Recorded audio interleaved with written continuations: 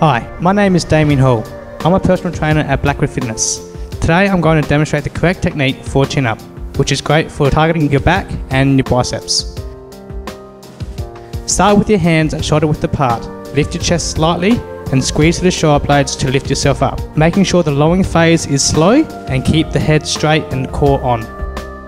To target slightly different muscles, change your hand positions.